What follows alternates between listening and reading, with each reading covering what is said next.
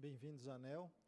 Bem, essa é uma reunião técnica no âmbito da audiência pública de número 50, que discute a forma de rateio dos não pagamentos na Câmara de Comercialização de Energia Elétrica. Mas é uma reunião técnica, não é uma sessão presencial. A sessão presencial da audiência pública ainda vai ocorrer durante a segunda etapa da audiência pública, mais próximo do final da, do processo todo de consulta a, aos stakeholders. Hoje a ideia é a gente retirar dúvidas em relação à nota técnica e à proposta da ANEL colocada em audiência pública. É, como também houve é, bastante ruído em relação à abertura desse processo, eu acho que vale a pena, logo agora no começo, eu prestar alguns esclarecimentos, é, de modo a gente poder concentrar o debate na nota técnica e não nessas dúvidas que foram é, suscitadas logo no âmbito do, do processo. Bem, primeiro, é importante destacar que esse procedimento já estava em estudo e há, há praticamente dois anos na ANEL. Isso compunha a nossa agenda regulatória e o objetivo é criar um mecanismo de rateio de não pagamentos que possa ser neutro. O que quer dizer isso? Que não faça parte das agências, da, da estratégia de negociação dos agentes, é, se vai comprar ou se vai vender, monitorar o não pagamento. Quer dizer, o não pagamento ele não pode ser um custo adicional, inclusive do ponto de vista estratégico. Além disso, a gente identificou alguns problemas na forma como hoje é feito, que pode resultar em incentivos à judicialização. Então, esses foram os dois principais motivadores do processo. Ter uma regra mais neutra, do ponto de vista estratégico, de modo a simplificar as decisões de negócio dos agentes, e a outra não gerar incentivos a um comportamento que, do ponto de vista regulatório, ele é permitido, mas que aumenta riscos setoriais, inclusive de judicialização. Então, a, a nossa ideia da proposta era essa. É, qualquer outra é, abordagem que possa ter tido é uma questão de coincidência com processos que correram em paralelo, mas que não dizem respeito ao que a gente estava estudando aqui. Outro ponto importante a ser colocado, a gente imagina que com esse tipo de regra, no futuro, algumas judicializações que hoje compõem o estoque de não pagamentos da, da CCE não viriam a ocorrer. Mas a nossa ideia não é aplicar essa regra sobre esse estoque que hoje está aí. Teria que abrir espaço para uma solução que o próprio Ministério de Minas e Energia já negocia para resolver esse estoque e teria que, de qualquer forma, ter uma regra de transição. Então, uma vez aprovada a norma, isso teria que ser transformado em procedimentos, em regras de comercialização então isso é para valer em algum momento no futuro. Então, provavelmente, a gente vai debater ao longo da audiência pública qual é a, a, a validade, quando essa norma pode se tornar eficaz. Então, se a gente precisa esperar, ou se a gente é, deixa ela em vigor e suspende até que haja o acordo, ou se a gente coloca ela para valer daqui a um ano e meio. Né, pra, também o importante aqui é desvincular, desancorar o resultado atual de não pagamentos à CCE com as contribuições que os agentes farão. Porque você pode estar numa situação em que você é contra ou a favor a nova proposta, mas olhando a aplicação imediata dela, você se vincula a uma posição é, que você não tem como defender de público uma solução que pode colocar na sua conta alguns milhões, se não bilhões de reais.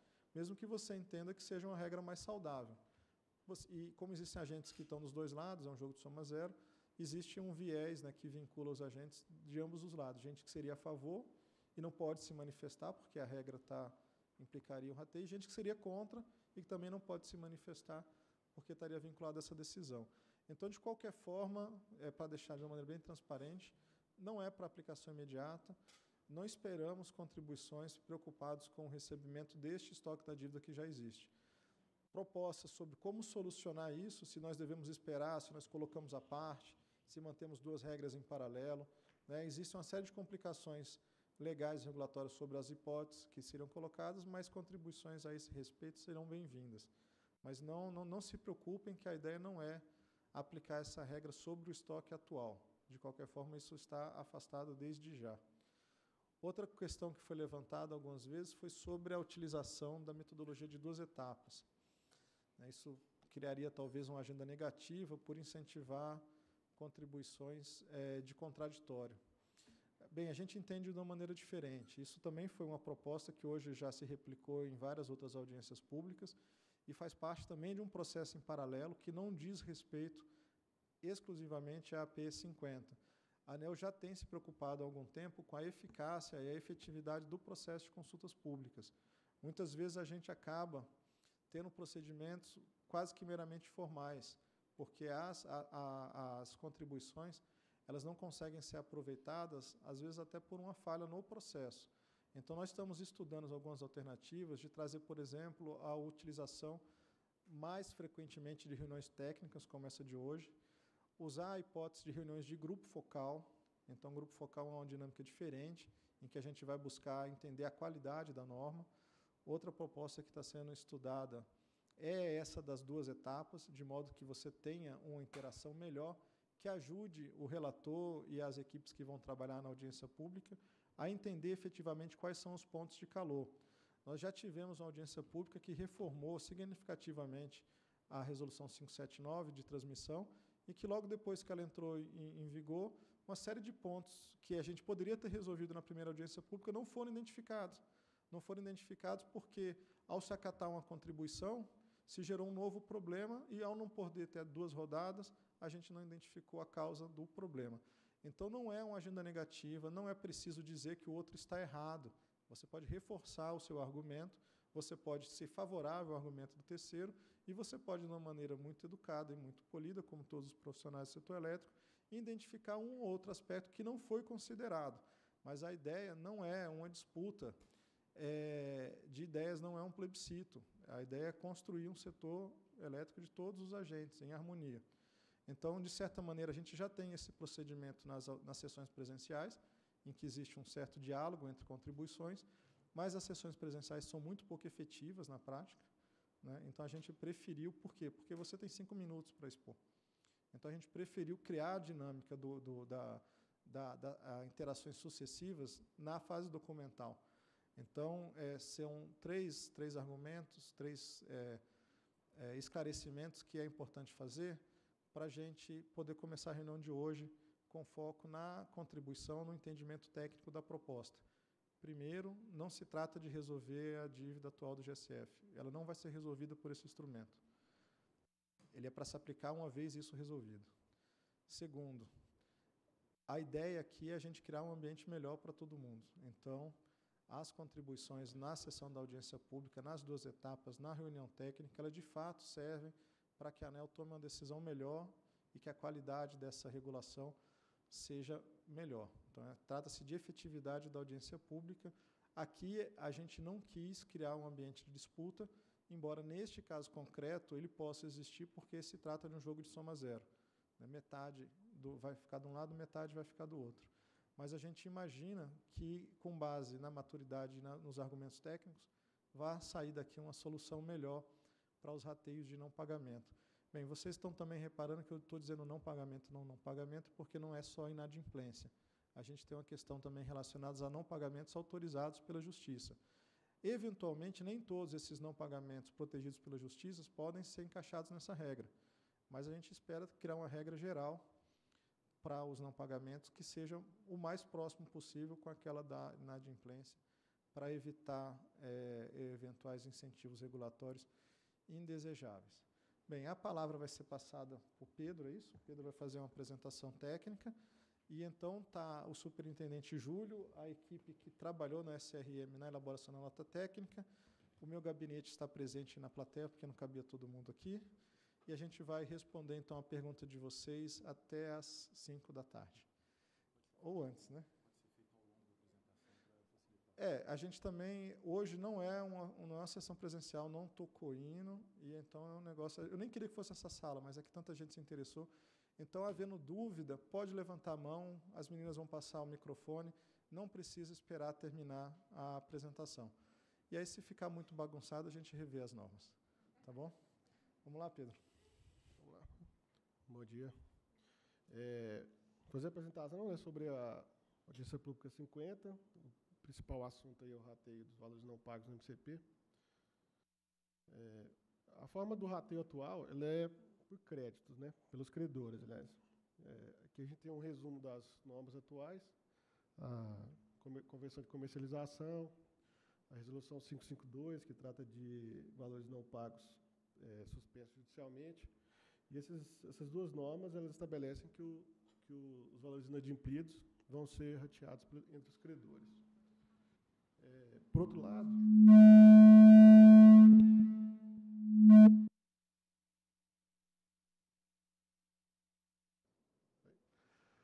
Por outro lado, a resolução que trata de desligamento de agentes, ela já, ela já, ela já traz essa solução de rateio do, do, da inadimplência entre todos os agentes do setor, né, na proporção dos votos. É, então, vamos lá. No, no, na hora do pagamento lá do, da liquidação, todos os agentes devedores aportam os recursos e um dia depois esse recurso é distribuído entre os, entre os credores do MCP. Então, o rateio de, entre credores é isso. É receber o dinheiro, divide só entre quem tem que receber na proporção do que do valor a receber. Aqui a gente colocou essa tabela na nota técnica, só para exemplificar né, de, como que, de como que é hoje. Existe lá um mapa da liquidação da CCE. Mais próximo. O mapa da liquidação da CCE. É, os agentes fazem o pagamento, apura a inadimplência. Essa inadimplência ela é rateada entre os, entre os credores e os credores recebem todo o dinheiro que foi depositado pelos pagantes. Então, naturalmente, a inadimplência é rateada apenas entre os credores. A proposta que está sendo colocada em audiência pública agora, ela, a gente está propondo que o, essa inadimplência seja rateada entre todos os agentes. Né? Na prática, o, o que a gente está propondo é praticamente uma antecipação daquilo que ocorreria no eventual desligamento do agente. Né? No desligamento, o rateio já é feito pelos votos. É, e a, a, a, digamos assim, da, da, maneira como a gente está fazendo a proposta, naturalmente, depois do rateio pelos votos, em algum momento a gente tem que fazer esse rateio pelos, pelos credores para terminar o processo. Né? Então, que após o rateio, os débitos são tratados. Aliás, isso aqui é, é, é, é, é como a gente vai fazer, fazer a separação desses créditos na, na CCE. Depois que fizer o rateio, esses créditos vão sair da liquidação não vão ser mais novados mês a mês, né? para que os efeitos da inadimplência não se propaguem. Então, como é que seria o processo? Os, deve, os, os devedores do MCP farem um pagamento, da mesma forma como é feito hoje. Um dia depois, o dinheiro é que foi recebido é rateado entre os credores. É, cinco dias depois, é feito o pagamento do rateio pelos votos né, que, o, o, dos débitos pelos votos, e um dia depois disso, esse dinheiro que foi recebido no, no rateio pelos votos é também creditado entre os credores. Aqui a gente destacou que a etapa atual, as etapas atuais né, de, de recebimento de dinheiro, de liquidação dos créditos, ela é mantida. Né? Não, a gente não postergou isso daqui, por isso que criou essa etapa. A etapa que hoje é a final, ela vira uma etapa intermediária viraria até para intermediária. Aqui um, um exemplo que está na aula técnica também de como que seria esse processo. Né? Da mesma forma, a CCE vai soltar um mapa de liquidação, é, os devedores vão fazer o aporte de dinheiro e vai ser apurada a inadimplência. Só que aqui a inadimplência vai ser rateada entre todos os agentes, de acordo com os votos dos agentes aqui. Né? Então vai ser criado um novo mapa porque o cara, a gente que, que ia receber dinheiro, pode ser que ele tenha que pagar, como é o caso desse agente 5 aqui, que ia receber 5 mil, mas no rateio dos votos da inadimplência ele ficou com a cota de 9 mil, então ele tem que pagar, no, no rateio de votos, ele vai pagar 4 mil. E aí, nessa, logo depois que é recebido esse dinheiro da primeira etapa, é feito um rateio do valor recebido na proporção desses créditos que os agentes tiveram depois do rateio de votos. E aí, novamente, apurada a inadimplência. Aí, essa nova inadimplência, aqui na próxima tabela, essa nova inadimplência, ela vai ser rateada aqui apenas entre os credores para o processo finalizar. Né? É, então, a gente pode ver que nessa, com essa metodologia, o rateio ele é a inadimplência é dividida entre todos os agentes. Pode, ela pode, a, a, a, a quantidade de, de, de, de de imprensa suportada, ela pode aumentar ou diminuir né, em relação à, situação atual, dependendo da, da quantidade de votos. É, e a P também ela trata de, de outros assuntos, né? A gente colocou lá uma discussão conceitual em relação à liquidação específica de, de encargos. É, a gente está tratando também da aplicação de encargos moratórios é, sobre valores que, que tenham tido sua exigibilidade restabelecida pela Justiça, que o diretor Tiago comentou. É, a gente tratou também sobre a contratação de, de instituição. Ué. Fui eu.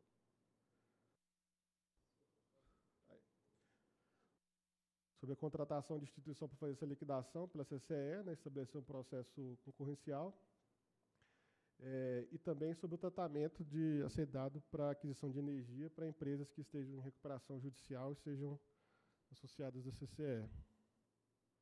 É isso. Bem, então, estamos abertos. Tem uma pergunta da, da Elber.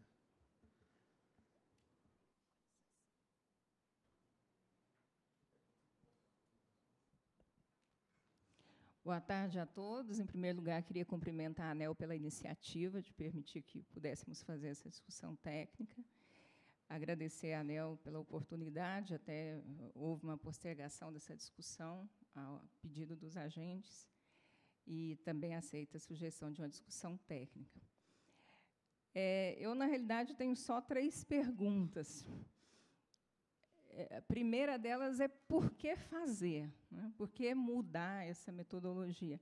Embora vocês tenham colocado algumas justificativas, para mim não está muito claro.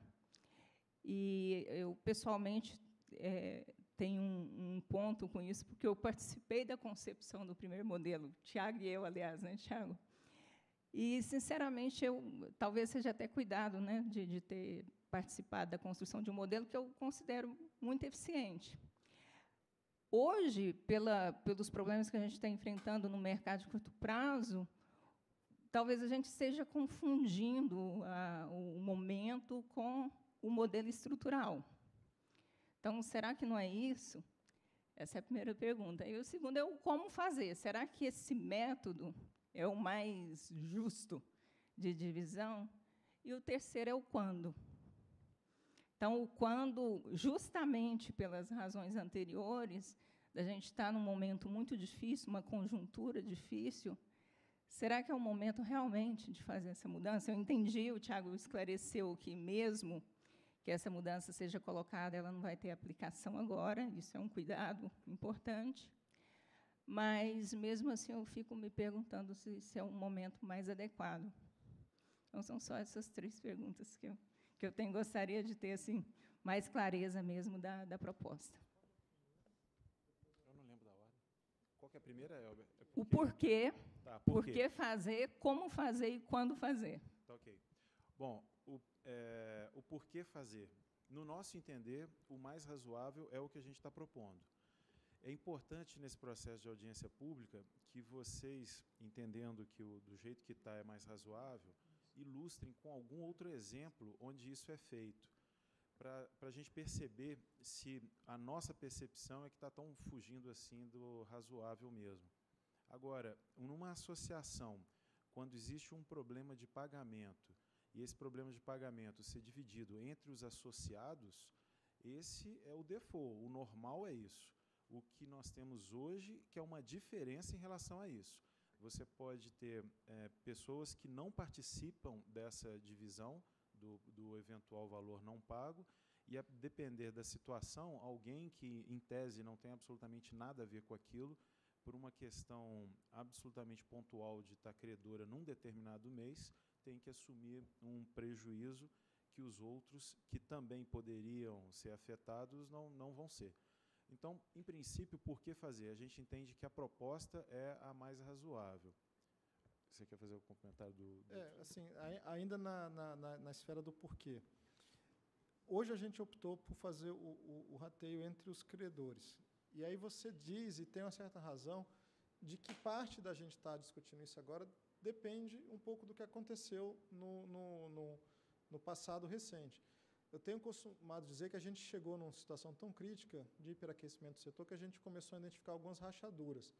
Então, a questão do, do rateio, por exemplo, eu, eu, começaria, embora a forma lógica de apresentar, é, olha, ratear entre credores ou por voto, o problema principal que a gente tinha era de interromper a inovação. A gente precisava interromper a inovação para ter valores líquidos e certos que permitissem a identificação desse problema entre as partes para que elas possam ser ouvidas, por exemplo, no âmbito de processos judiciais. Então, hoje você tem uma questão difusa que você não sabe efetivamente quem é o pagador, para envolver no âmbito de um processo judicial. E a ANEL atua como procuradora do interesse difuso de uma maneira que ela não consegue atuar eficazmente. Então, é reconhecer. A ANEL e a CCE não defende esse interesse difuso com a mesma eficácia e eficiência que os agentes deveriam se fizessem parte, ou poderiam fazer se fizesse parte. Então, para mim, a principal motivação é, bem, vamos interromper o ciclo de inovação. Essa dívida ela tem que ser, de alguma maneira, tratada separado a cada evento, de modo a permitir a identificação das partes afetadas e as partes afetadas fazerem parte da solução. Porque é, a gente está criando uma regra para um não pagamento da ordem como era o histórico anterior, não da ordem atual.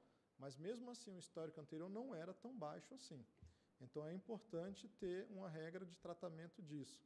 E a gente entende que se existisse isso, não haveria essa escalada de não decisões judiciais, porque não vejo problema nenhum em buscar abrigo no judiciário. O problema é o judiciário não atender às expectativas nossas, nossas, Daniel, de vocês, do setor, de dar uma decisão que pacifique isso, tempestivamente. E ele não consegue fazer isso porque o assunto é muito complexo e os agentes não estão envolvidos com o envolvimento dos agentes, o assunto poderia ter sido resolvido já, ainda que judicialmente lá atrás a gente não estaria discutindo mais nada disso hoje, por exemplo, no caso do GSF. Então, para mim, o importante é, é acabar com a inovação. Mas acabar com a inovação usando como rateio os créditos num mercado extremamente volátil, com fontes que têm sazonalidade, me parece injusto. Então, se eu tivesse que fazer uma inovação e olhasse lá um mês em que há muita geração é, das usinas é, do Rio Madeira, de Belo Monte ou de eólicas, aí eles iam ficar credores e eu ia alocar essa, essa regra bilateral lá. Então, outro problema, eu sei que tem agentes aqui da área de comercialização que tem uma capacidade muito maior de, de, de se manter neutro em relação a isso.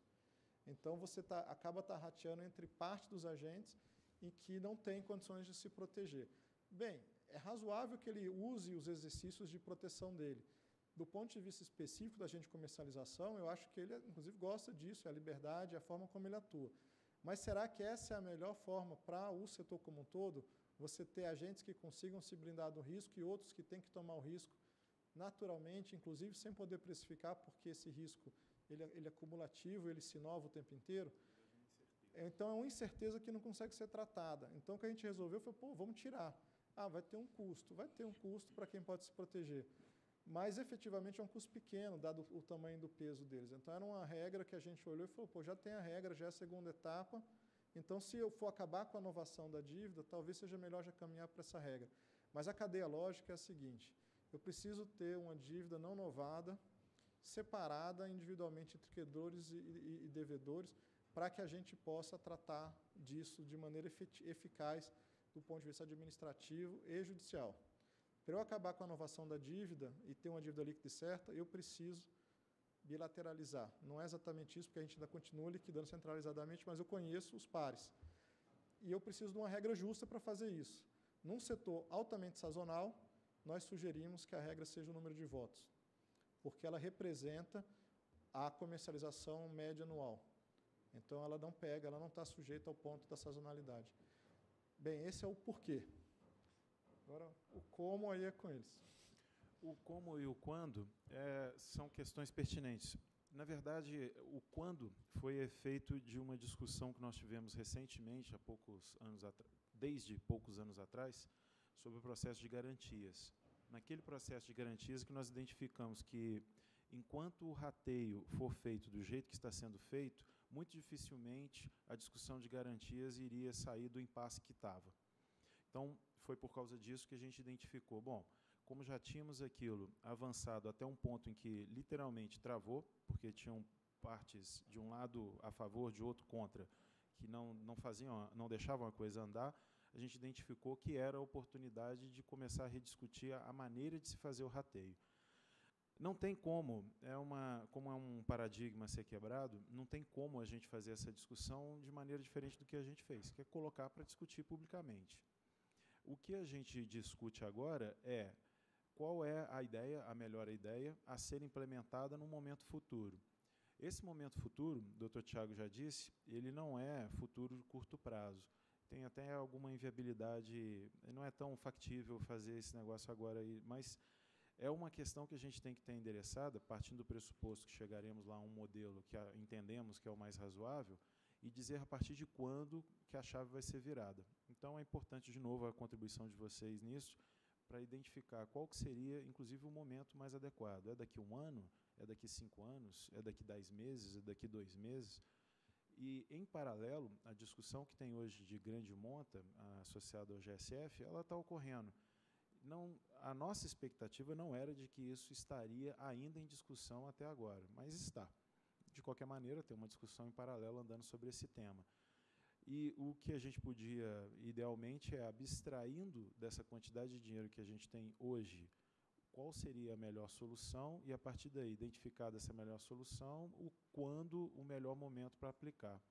Mas, o, quanto ao momento de discussão, a gente entendeu que agora era razoável, considerando essa nossa discussão ah, até algum tempo atrás sobre o processo de garantias. Assim, o como a gente vai discutir efetivamente durante a audiência pública. Né? O, o, o, importante é que haja o entendimento do, do porquê. O como, todo mundo estando no mesmo patamar de, de entendimento, a gente pode chegar numa forma melhor operacionalmente do que é que a gente propôs.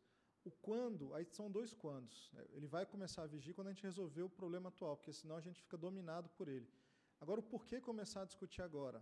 A gente tem um problema de, de fluxo há uma previsão, eu acho razoável, de uma grande aceleração regulatória a partir do, do ano que vem, se a gente conseguir fazer as reformas em discussão no setor elétrico. Então, em fazendo essas reformas, vai haver um, um quase um, um, dreno, um buraco negro, um vórtice sugando os recursos da agência para pautas que vão estar determinadas em lei com prazos. Seis meses para isso, quatro meses para aquilo, um ano para aquilo. Então, a gente vai se dedicar a isso tentar resolver um problema hoje, embora seja pareça meio loucura, e deixar ele pronto para aplicar lá na frente, é a janela de oportunidade que a gente tem. Além disso, do ponto de vista mais egoístico, é, vai haver uma transição muito forte de diretores da ANEL. Né? A gente começou, já, te, já, já teve a, o fim do mandato do diretor Jurosa, agora em janeiro termina o do Reive, em agosto acaba o meu, o do André e o do Romeu. A equipe que está aqui gostaria de conduzir algumas coisas. Então, por mais é, inoportuno que pareça discutir uma forma de rateio com uma inadimplência de bilhões sobre a nossa cabeça, é, é agora ou seriam outras pessoas, seriam um, um, um, um, futuro em que a gente, a gente enxerga com a necessidade também de outras agendas muito premente. Então, é assim, é, eu, eu, o que eu podia fazer era acelerar o, o processo da discussão e deixar um, um hiato, um gatilho para deixar a vigência lá na frente. Mas o, o, quando agora, a pertinência é essa. Vai haver uma aceleração regulatória lá na frente e vai drenar todos os nossos recursos. E essa equipe hoje que está na direção da ANEL gostaria de debater esse assunto antes de passar o bastão. Claro.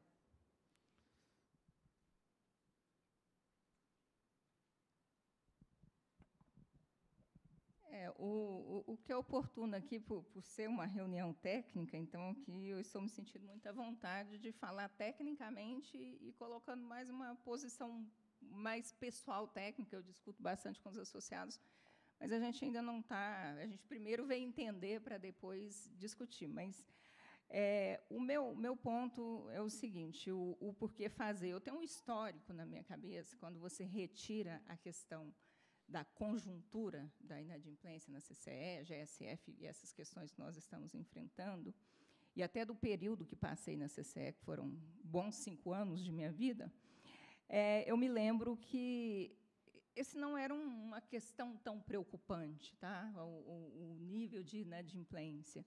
Então, eu não, não tinha, não está claro para mim que essa inadimplência seja algo tão preocupante. E o ponto da inovação, você tem razão, é, é um ponto importante, mas quando esse desenho foi pensado e as várias formas de rateio, esse, essa questão foi muito bem refletida. E o, o que me preocupa é, você, o Júlio disse, olha, trata-se de uma associação, então parece justo dividir aquele custo, aquela inadimplência com uma associação. É uma associação que presta outros serviços, que muitos associados que estão lá, e eu não sei hoje, Ari, mas talvez 2 mil agentes, né? Sete, pois é, olha só. Eu me 2 mil só de consumidor, né? É, e, e, daí, é, essa, essa associação que tem um número grande de agentes e tem alguns agentes que utilizam muito mais daquele clube, é um clube muito, muito frequentado, um clube de alto nível, muito bem frequentado, e os agentes que usam mais o clube, é, que são os caras que realmente operam, que ganham, que perdem, eles hoje pagam essa conta. Né? Geralmente a conta está paga, e aqueles que não frequentam tanto o clube não pagam essa conta, porque é uma conta específica, mas pagam a mensalidade anual. Então, não me parece justo o fato de eu pertencer àquela associação, eu já sair pagando. E aí vem a questão da financiabilidade que me preocupa, quando vocês mencionam a questão da incerteza. E eu, agente, que faço um contrato, que vou ao banco, faço financiamento, emito uma debênture, eu, uma debênture, eu estou operando ali naquele mercado. Como é que, que vai ficar essa minha situação de financiamento? eu, eu estou exposta a um risco que, eu também eu não a um problema ou inadimplência que talvez eu não esteja nem causando, que eu não estou operando. É só para refletir, tá? Esse esse ponto para mim ainda está muito muito difícil de, de responder para optar pelo pelo coma. E a gente já está discutindo o porquê e o como ao mesmo tempo. É, o que me parece é que o porquê, a razão pela qual você quer mudar, não seja suficientemente forte para explicar o como. Esse é o ponto. É uma visão técnica de Elbia. Tá? A gente ainda está num processo de, de construção. A gente, a gente agradece e acho que faz parte da, da ideia de hoje ter já essa conversa um pouco franca. Bem, algumas coisas dependem até da forma como você enxerga, se é um risco sistêmico, se é um risco de negócio. A nossa proposta diz que isso é um risco do sistema. Então, portanto, ele é rateado por todos. E uma coisa que nos incomoda, e você mencionou, é que hoje você pode estar numa situação de credor, ter um cliente que te paga e está sujeito a não receber porque o cliente de outra pessoa, ou às vezes porque o mercado ele é muito interessante, a, a, a questão do você estar tá em débito ou não, não depende nem de você ser cliente. Né? Às vezes você é um gerador que não performa. Né? E aí essas coisas começam a gerar é, liquidações que, que, que relações de, de credor e devedor que não são tão transparentes e o risco não é tão controlável. Então, se você tem um risco não controlável, é mais justo distribuir no sistema ou é mais justo distribuir na parte de um sistema? Efetivamente, a ANEL não sabe. Por isso que a gente está fazendo audiência pública. Né? Audiência pública de verdade. Né? Então, a gente tem uma proposta que julga ser melhor, mas vamos, vamos, vamos ver ao final dela como é que a gente conduz isso. Mas são dois problemas diferentes, três na verdade, né? Alguns incentivos à judicialização que a gente identificou, alguns problemas com juros, né? Parece que a, a gente está tão focado nesse problema, está esquecendo do detalhe, é importante lembrar dele. Tem um problema da inovação da dívida e tem o um problema do rateio da dívida. São, são três coisas num pacote só. É, Mariotto, da Petrobras. É, a Petrobras também é, parabeniza a ANEL pela pela coragem de, de discutir esse tema é, nesse momento e contribuindo um pouquinho na questão se é o tempo. A Petrobras já contribuiu é, nesse tema aqui para a ANEL desde 2012. Então, é, não tem a ver com o problema atual do GSF, que a gente sabe, nunca teve nenhuma pretensão que esse problema fosse resolvido é, com, com, com alteração da forma de rateio. É, também o, o porquê. Né? A gente Desde 2012, apesar de a inadimplência é, é, é, ser pequena, mas a gente acaba ficando com uma parte muito grande. Então, incomoda, sim, o agente termoelétrico se é, fazer o rateio pela, pela, pelos votos já causa esse problema para, os agentes que estão entrando agora nessa, nessa, nesse rateio, já é um, um problema, e a gente é, é, sabe disso, imagine para aquele agente que tem uma, uma, uma é, fica exposto àquela inadimplência de forma rotineira e grande. A Petrobras já chegou a, a contribuir com 35% da, da inadimplência é, e não pagamento, não só inadimplência, né, o, o, não pagamento, como muito bem colocado pelo diretor Tiago, 35%, sendo que no mercado a gente tem é, uma proporção de 3% do mercado. Então, é, refletindo sobre isso, que a gente tem que ver se é justo esse, esse risco sistêmico ser imputado a poucos agentes, e normalmente os agentes é, geradores termoelétricos que acabam ficando é, bastante expostos nesses momentos que é, de PLD alto, na onde o problema se configura com mais força. É, mas a nossa é, dúvida, é, que a gente gostaria de esclarecimento, a nota técnica passa muito rápido por esse ponto, e é, nos preocupa que a questão da bilaterização dos créditos, é, bilateralizar os, os, débitos. Como é que é, isso é feito? Isso aí é, vai ser colocado, identificado o credor e o devedor, eu acho que isso é positivo, mas a gente acha perigoso se em algum momento a gente está pensando em tirar esse débito da CCE. Eu acho que esse débito tem que ficar na CCE, controlado pela CCE, e se lá na frente, quando uma liminar cair, aquele agente não pode ter é, preferência para quem ele vai pagar, porque ele vai ter vários, vários devedores, ele tem que pagar na CCE e, ser, é, se ele não pagar tudo, que isso seja é, rateado pela proporção, ou é, ele não ter a possibilidade de escolher qual débito ele vai pagar. É isso que a gente entendeu, a gente gostaria de, de, de confirmar. É, e, e, se não pagar, sofrer todas aquelas é, penalidades de desligamento e, e, que já são previstas na regra de comercialização. A gente gostaria de saber se é isso mesmo que está sendo proposto. É, talvez não tenha ficado muito claro, mas na proposta de, de resolução ela trata a, como a CCE vai representar esses agentes, esse coletivo de, de associados que se tornam credores face de alguém que ou está com uma liminar ou é, simplesmente é inadimplente. Então, essa metodologia está lá, razoavelmente clara. É, a questão dele selecionar o crédito, a ANEL não pode criar um privilégio de crédito que não, haja, que não, não seja vigor em lei. Então, o que, que acontece? Para ele voltar para a CCE, ele vai ter que pagar é, é, todo aquele débito que foi pago pela associação. Agora, ninguém vai poder impedir dele, numa ação judicial, pagar um credor, fazer um acordo privado. É, é impossível a gente impedir que ele faça isso. Agora, se ele não paga a todos, para voltar para a CCE está comprometido. Então, são coisas distintas. Sim. Sim. A CCE, a questão de, de ser bilateral ou não o débito, a CCE vai representar a coletividade dos associados em juízo. Ela vai ser obrigada a fazer isso, a não ser que alguém queira litigar é, com o seu próprio advogado. Tá? É uma questão de facilidade, porque seria impossível, inclusive, todos os associados entrar como litisconsórcio numa ação. Tá? Então, é, esse mecanismo já está lá, obrigando a CCE a fazer isso, porque seria impossível ser de outra maneira. A gente diz que bilateralizou e apartou, a gente apartou do MCP. Sim. A gente não apartou da CCE.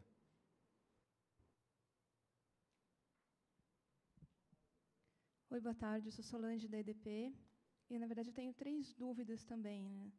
É, uma delas é se essa forma de, de, mecanismo de incentivo não pode gerar até um incentivo contrário aos agentes. Primeiro, porque aumentaria muito a incerteza para o bom pagador. Né? E isso pode até levar mais liminares para a ordem de recebimento. O outro tipo de incentivo contrário, será que ele não, não, não poderia retardar o prazo para recebimento? e não poderia incentivar até o menor número de operações na comercializadora, porque o, número de votos dela é por operação. Né? Essa seria a primeira dúvida, quanto ao mecanismo de incentivo. A outra dúvida é sobre a operacionalização. Quando o pagador, quando o devedor pagar o que ele deve, é, como que ele vai devolver? Vai ser com, a, a partir dos votos, na data quando ele deixou de pagar, ou vai ser na data atual? Será que isso não está trazendo até uma complicação a mais né, para o modelo? E a última pergunta é: por que não explorar mais a alternativa da criação de um sistema robusto de garantias, ao invés de tentar, às vezes, propor uma solução mais paliativa? Bem, vamos lá, vamos um pouco calma. Os efeitos colaterais, eles têm que ser identificados agora nessa etapa. Então, eu, eu convido a, a EDP, se ela tem esses receios, que nos mostre situações possíveis, na forma do texto de contribuição, de quando que isso poderia ocorrer. Tratando aqui de comportamento de agentes, é, é, é de fato possível que eles caminhem de um lado, mesmo a gente tentando incentivar para o outro. Mas a gente entende que é exatamente o oposto. A gente está retirando os benefícios do, do, do, do, de um comportamento e partindo do pressuposto de que vão, pelo menos a grande maioria, agir de boa fé. É claro que se você deixar um incentivo errado, mesmo de boa fé, eles vão caminhar para aquele lado. Então, a nossa preocupação é, é em relação a essa. Em relação às formas do, do, da divisão do voto, a nossa ideia é que elas sejam estabelecidas o valor delas por mês. Então, você vai separar o valor e vai dizer quem que é o credor, quem que é o devedor por mês, e essas contas vão ficar guardadas mês a mês e vão ser corrigidas. Então, na hora que você tiver que pagar, você vai pegar todo aquele valor, mês a mês, na proporção dos seus votos naquele mês, e você vai trazer e vai pagar em reais. Você não faz um novo rateio. É, na hora de, de. A ideia é essa.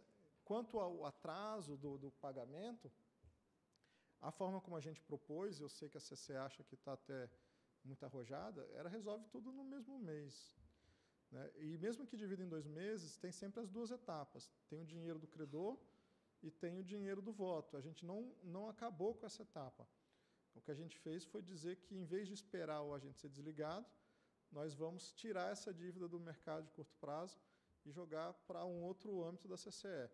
Então, essa regra já existia, só que ela só ocorria em caso de desligamento. E aí você tinha uma dívida renovada todo, todo mês. A gente está falando assim, não quero mais renovar. Essa dívida ela vai para o lado. Ela vai para o lado, eu esqueci de mencionar, mas isso é um dos porquês também. Um agente entra hoje na CCE, ele herda uma conta absurda. Se ela já tivesse sido apartada, ele entrava com o mercado limpo. Então, isso é uma outra razão pela qual precisa ser interrompido o sistema de inovação.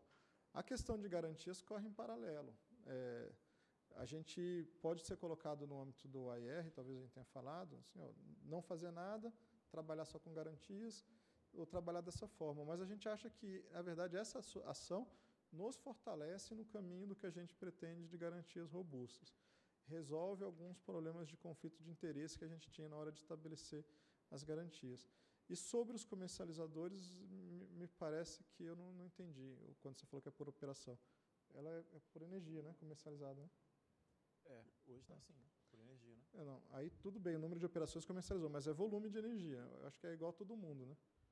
Se, Se alguém vai comercializar menos e vai votar menos, deve ser menos onerado também. É. Me parece razoável. Se a regra de voto não é equitativa ou não é justo o suficiente, então Aí pode até se eventualmente discutir a regra dos votos, mas a regra dos votos é a regra pela qual cada associado exerce seu poder dentro da associação. Então, parece justo, nessa medida em que ele exerce o voto, que ele arque com o ônus correspondente. Tanto para um lado quanto para outro. Né?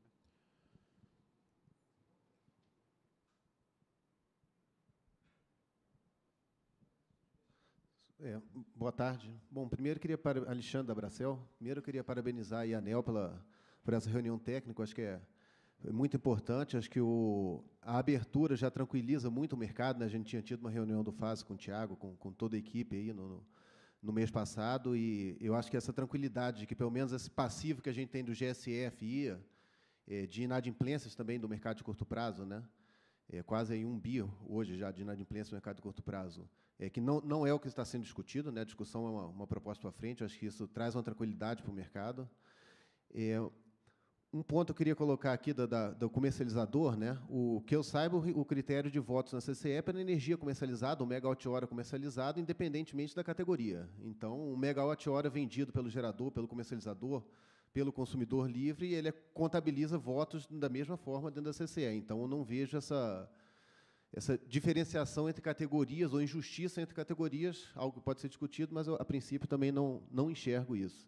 É, em relação ao que foi citado do comercializador, que ele é a categoria que mais beneficia dessa regra hoje, porque ele pode ajustar a sua posição, eu acho que a gente tem que. Não é tão simples assim essa análise. Vamos lá. Primeiro, que para o comercializador estar tá long na CCE é porque ele tem um contrato de compra que ele tem que pagar. Então, ele também tem uma dívida para pagar, assim como o térmico tem um CVU, assim como os outros agentes têm seus custos de geração, o, o comercializador tem seu custo de compra de energia. Então, o fato de não receber na CCE também afeta o, a saúde financeira do comercializador, assim como qualquer outro agente. É, segundo, que não são todas as operações do comercializador que ele tem essa possibilidade de ficar short, ficar long.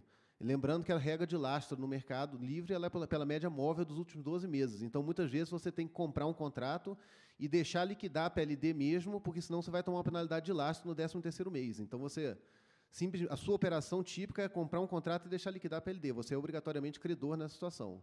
É, e terceiro, que quando você tem a opção de vender um contrato para sair do, do, da posição de credor, você tem um custo. O spread negativo aí, hoje a gente tem várias é, indicações de preços que mostram esse spread negativo, que é justamente o custo que o, consumidor, que o comercializador está pagando, ou os agentes do mercado estão pagando, para sair desse risco de inadimplência na CCE. É, então, também não é tão simples assim. Se a gente for olhar friamente, pontualmente hoje, não é a análise que a gente faz na Bracel, mas o, grande parte dos créditos represados hoje são nossos, dos comercializadores, porque a gente está sem eliminar. A gente recebeu 16% dos créditos na última liquidação. Então, se a gente estivesse olhando só para o nosso umbigo para receber, se a gente tivesse a conta, talvez até fosse melhor para a gente esse critério que está sendo proposto, né? mas não é essa análise que a gente faz lá. É, um outro ponto que eu queria colocar, e eu acho que esse talvez seja a grande discussão aqui da audiência pública, é essa questão da inovação. Dizer, se hoje a gente tem um problema de valores que não são pagos, ou por inadimplência ou por liminares, e que nem a CCE e o ANEL, em nome de todos os agentes, conseguem ir atrás do cara para fazer o cara pagar, será que eu, individualmente, que posso ter uma conta pulverizada de centenas de reais, talvez, vou conseguir, na justiça, cobrar o crédito desse cara? Será que realmente isso vai ser o mais eficiente para ir atrás desses valores que estão em aberto? E, aí, então, me parece que a gente está atacando o efeito do, do, do, problema que a gente tem no setor, que é o rateio de inadimplência, ou quem arca com essa inadimplência, e não a origem. E aí, basicamente, a gente tem, hoje, falando, 90% do problema é o GSF, que a gente espera que saia em breve aí um, uma solução né, para esse problema, e também um outro problema que tem sido atacado, que são ali duas ou três distribuidoras que estão inadimplentes. Eu, eu, não sei se com a CDE, com a privatização, a gente vai resolver esse problema, mas que é um problema crescente também. É, tirando esses dois fatores hoje do mercado, a inadimplência está em torno de 0,4%. Então, é, aí, aí eu volto à questão do, do, timing da discussão, porque é muito difícil a gente, embora a ANEL esteja sinalizando que é para frente, não está em discussão o que está em aberto hoje no mercado, é muito difícil os agentes, as associações em si, separarem essa discussão face o, o rombo que tem hoje no mercado e que está aumentando exponencialmente. É, de julho para de, de agosto para setembro, a gente aumentou em 1,2 bi, e nessa última liquidação, mais 1,1 bi. Então, está aumentando um bilhão por mês esse passivo na CCE. É, mesmo se aplicando para frente, se não se equacionar esses problemas, tanto do GSF quanto das distribuidoras, esse passivo vai continuar aumentando e a gente vai ter um, um volume excessivo para ser rateado. Então, é, é, o timing, por isso a gente questionou muito no início o timing dessa discussão, porque é muito difícil separar. É, igual discutir a regra de republicação do PLD, que a gente espera também que seja mudada em breve, né, quando você tem uma, uma republicação ali na frente. Então, é, é difícil os agentes separarem essas posições. Bem, é, eu não disse que, que os comerciadores se beneficiam, disse que eles têm melhores condições de se proteger e, evidentemente, eu mencionei, tem um custo dessa estratégia. Então, na verdade, eu acho que é melhor para todo mundo mesmo, mas depende da avaliação de cada de cada de cada cada gente. Na verdade, não é nem cada associação, porque dentro da mesma associação eu entendo que tenham é, estratégias né, de, de agentes bem, bem diferentes. Mas a, a ideia, Alexandre, é, é, a gente apresentar uma regra hoje para tentar conviver com o 0,4. Mas o 0,4 é 0,4 de algum, alguns bilhões. Né? E isso pode ficar 35%, 40%, às vezes, em cima de um, de um único agente. A gente está propondo uma regra para isso. Em relação à, à, ideia de nem a CCE nem a ANEL conseguir defender, e talvez você fracionado, a gente quer dar um rosto para a dívida, mas a gente está colocando a hipótese de, em você fazendo parte e tendo um rosto, você nominar o seu advogado, como o Kugler disse. Mas continua isso no âmbito da CCE, a CCE e a ANEL vão defender. Mas eu vou te dizer, é muito ingrato para a gente despachar com o juiz e ter um agente concreto dizendo que quebra se, se pagar, e do lado de lá é um rosto difuso, apagado, em que eu não consigo dizer, olha, tem empresa X, tem empresa Y, e eles vão quebrar também. Não tem, esse é um jogo de soma zero. Não tem como você não pagar e todo mundo receber. Mas como eu não tenho um rosto, e o juiz fala assim, não, mas quem não vai pagar? Aí você fala assim, não, é o MCP. Aí já, já complicou, porque é uma sigla. Ou é o MCP ou o MRE. Aí ele fala, joga no MRE. Não, mas tem um liminar que não deixa pôr no MRE. Ah, então aí ele não decide. Ele simplesmente fala, suspende o pagamento enquanto eu vou pensar em qual letra eu coloco. Agora, imagine que a gente chega lá e fala, olha, empresa A, empresa B, empresa C, elas estão deixando de receber X. Isso eu conheço, porque eu sou regulador, representa 10% do EBITDA da empresa. Eu, eu ganhei argumento para te defender. Agora, se é um rosto difuso, a gente não consegue, a gente está perdendo essa luta. Mas veja, ao mesmo tempo que eu digo que eu não quero ratear a inadimplência do GSF, eu quero evitar que ela volte com outro problema, porque o GSF, quando veio, a gente não sabia que ele vinha. Existia um contrato, existia uma regra e funcionou assim durante 20 anos. E quando ele veio, o tempo de decisão de um órgão público, que é feito para ser devagar, que é para proteger os administrados das maluquices, do, de quem está sentado na cadeira, é feito para ser lento. Quando a gente decidiu resolver, já não dá mais para resolver. E quando a próxima onda vier, vai ser igual. Quando a gente conseguir resolver, já vai ter somado algumas centenas de milhões de novo. Então, a gente precisa ter uma regra em que evite a suspensão dos efeitos. E as decisões judiciais, quando forem inevitáveis, que sejam rápidas. Né? Porque eu acho que quando a gente discute reduzir judicialização, é reduzir o tempo da judicialização, né? porque eventualmente vai ter que ter recurso ao judiciário mesmo, a gente aceita isso sem, sem, sem levar o litígio para outras esferas. Então, não vejo nenhum problema em disputa judicial, desde que os juízes fossem capazes de entender a dor que causa a decisão para os dois lados, e aí, conhecendo as duas dores, os dois direitos, poder decidir. Agora, se você leva um direito e uma dor e a outra não é difusa, a causa está ganha. Não tem chance da ANEL ganhar essa disputa. Mas é por isso que a gente quer bilateralizar, essa seria a razão. Oi, é, boa tarde a todos. É, Sara, CPFL Renováveis. É, eu tenho uma dúvida. O, o não pagamento da parcela do rateio da inadimplência, ela vai dar início a um processo igual um agente que fica inadimplente no MCP, como, por exemplo, desligamento, penalidades? E se sim, é, isso é, é, regulatoriamente forte e previsto para não dar início a uma nova onda de judicialização? Por exemplo, eu paguei a minha parcela da, do mercado de curto prazo, estou tendo que pagar uma parcela de um rateio de inadimplência que não me pertence. É, a questão de peticionar em juízo ela é, é, livre, não há como isso ser cerceado de qualquer maneira.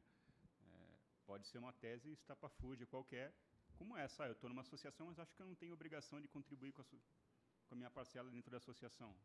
Enfim, é, é, esse direito não, dá como, não tem como cercear.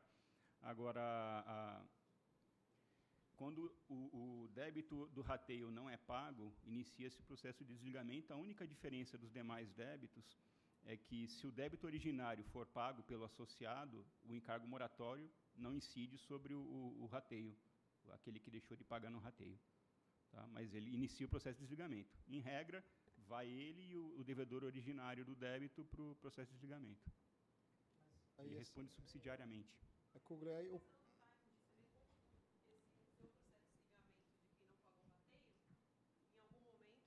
paga o do MCP? Sim, será informado, a CCE que vai controlar isso. E aquele que não pagou o rateio volta automaticamente ou não? Qualquer um que não pagou o originário e paga, volta. O rateio, se for pago a débito originário, também. É porque ele vai deixar, aquele é um débito, débito vai deixar de existir. Ele é. é. subsidiário, por isso. Entendi. Tá, obrigada. É, o encargo moratório que ele está comentando aqui, é, ele é devido, mas se for pago pelo devedor originário, está quitado.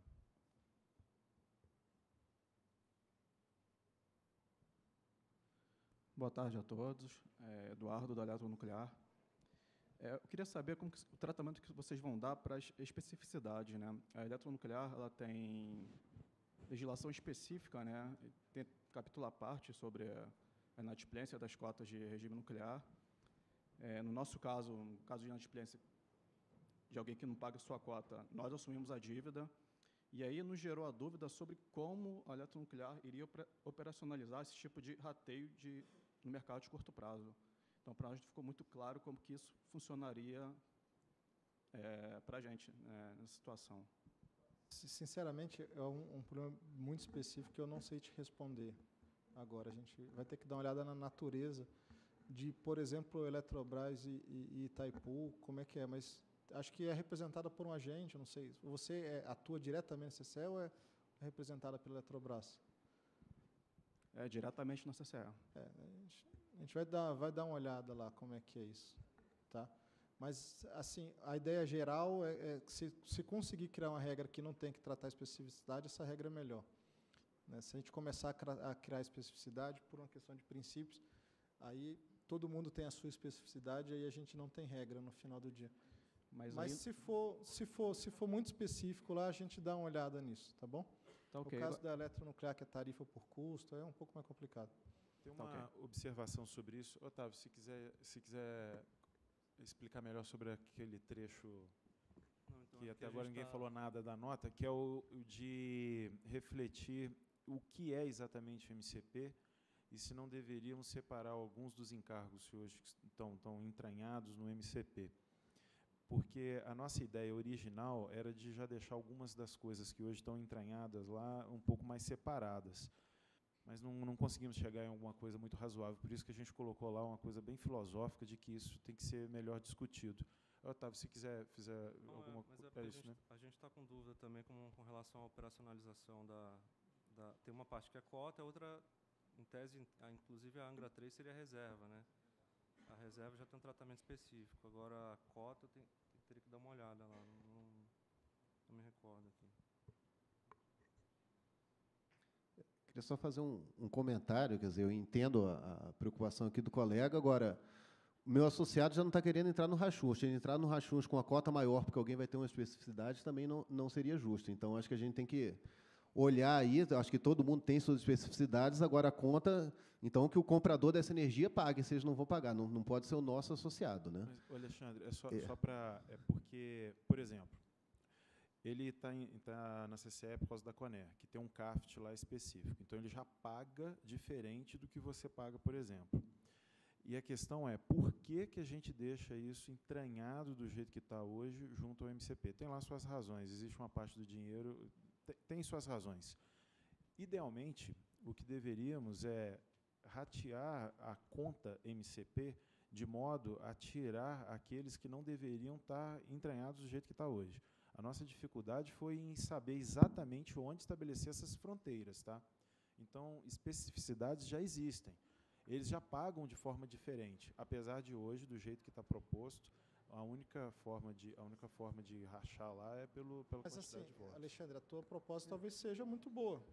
Se ele vai para a Coner e o resultado da liquidação do MCP vai para a Coner, então o resultado do rateio da, do MCP pode ir para lá. Mas a gente precisa conhecer as especificidades para poder depois tratar.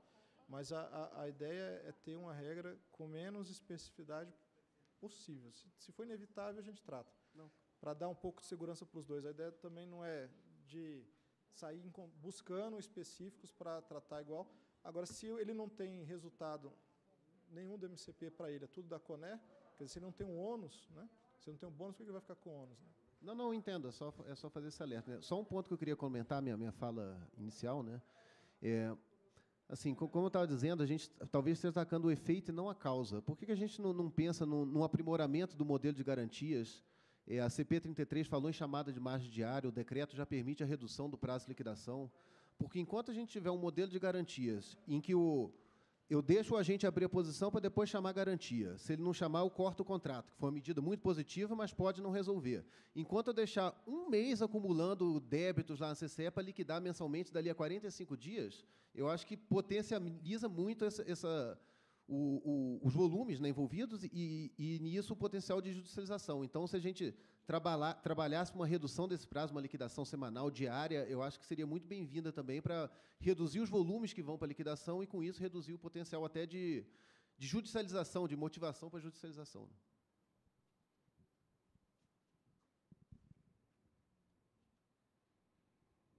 Marcelo Loureiro, Abiap. É, inicialmente, obrigado pela, pela oportunidade dessa discussão. É, dá para perceber que é uma discussão ampla e com vários desdobramentos. Cada agente tem um, recebe isso de uma forma bastante diferente. Mas a minha dúvida é em relação à questão da proposta de, de mora e multa sobre o valor não pago mas protegido por ação judicial. Não é inadimplência legítima, né? É o não pagamento por ação judicial. Pelo que a gente entendeu, é, a ideia é fazer com que os dois casos, né, a inadimplência legítima e a, o não pagamento protegido, tenham o mesmo juros de mora e também a mesma multa. E eu entendo também que, que isso é uma forma de evitar com que algum agente use a saída judicial para se alavancar. Né? É quase que um financiamento, poderia ser visto como quase que um financiamento. É, a proposta é essa mesma? E o, o juro, a multa também seria, poderia ser aumentada até 5, né? É, mas, ó, Marcelo, é mais ou menos isso, tá? O que a gente não gostaria é que tivesse o incentivo a você litigar, mesmo sabendo que não tem direito. Porque se você acha que tem direito, que tem uma chance de ganhar, lá no final você não vai pagar nada. Então, os juros ele é indiferente. Tem direito, eu vou, vou ganhar, ué. Agora, se você acha que tem uma chance enorme de perder e você vai só porque, só porque é mais barato, né, é, acaba criando um incentivo a esse comportamento. É um comportamento oportunista, mas a gente incentivou. Então, o que a gente está dizendo é o seguinte: não é um custo a mais, é o mesmo custo. Se você perder a decisão judicial, é porque você não tinha direito. Se você não tinha direito, que pague o mesmo juros de quem não tinha direito desde o começo, mas não, não judicializou. Então, a, a ideia aqui é o seguinte: é, é não criar incentivos, é deixar o, o campo plano. Uhum. Tá, de, de qualquer forma, é, tá, claro, eu entendo perfeitamente. O, criar um incentivo para alguém que já, já entende não ter o direito, é, pô, esse cara tá... É o que está em vigor, né? É, eu, não, eu não entendo que seja isso não, tá? Mas é, é o que está em vigor. Não, é, a gente não está dizendo que todo mundo que entrou com a ação entrou ação sem ter direito. Eu imagino que isso seja uhum. quase zero.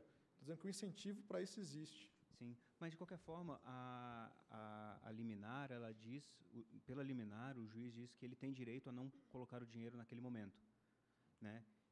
Bom, mas vamos onde eu quero chegar. É, faz sentido a gente não incentivar o cara a buscar uma saída maluca via judicial, né? Mas também não faz sentido a gente desincentivar ele a fazer isso integralmente. 1% ao mês, mais 2 de juros de, de multa, isso fecha, vai fechar 15%. Mais 5% de inflação dá 20% em um ano. É, pare, parece, parece um desincentivo bastante forte também para alguém buscar o, alguma coisa que nenhum de nós pode presumir se, se é justo ou não. Né? A gente tem um problema de limites legais, né, na hora que fixou isso. Mas a, a Assembleia da CCE pode alterar os juros dentro do limite legal, a gente colocou isso lá. A gente, por enquanto, está dizendo que tem que ser igual. Só isso. Só é, a visão é que a gente alterou a visão. Antes a visão era de quem estava pagando. A gente está com a visão de quem não está recebendo. Essa é a diferença. E de onde a gente tirou essa percepção? Da questão do GSF associado a quem repactou no mercado regulado. Então, existe até hoje uma disputa sobre quais valores deve, devem ser pagos versus quais valores devem ser recebidos. Porque o, o credor não recebe o mesmo valor que ele entendia como devido e o devedor não deve o mesmo valor que o credor entende como devido. Então, o que a gente está fazendo é deixando igual. Então, aí, se, o, se vai ser, como está lá, os até 5%, que é uma questão legal, pode ser definido em assembleia qualquer valor, a importância é que fica igual para o credor, quem vai receber, e aí eu não estou dizendo nem de onde vai vir o dinheiro nesse momento. Vai vir o dinheiro é de outra coisa, é de outro, é de outro ponto da resolução. Ele vai receber o mesmo dinheiro seja a razão uma inadimplência, seja a razão uma discussão judicial. Então, você, para o credor, deixa neutralizado. Aí a questão do devedor, que ele disputa, se ele está lá na justiça disputando ser ou não devedor, se a decisão for você não é devedor, você não é devedor, não paga nada. E aí alguém vai ter que arcar com aquele valor. Se a decisão judicial inovar e já dizer quem paga, excelente, está feito. Se ela mantiver do jeito que está hoje, aí entra na discussão de como isso tem que ser rateado.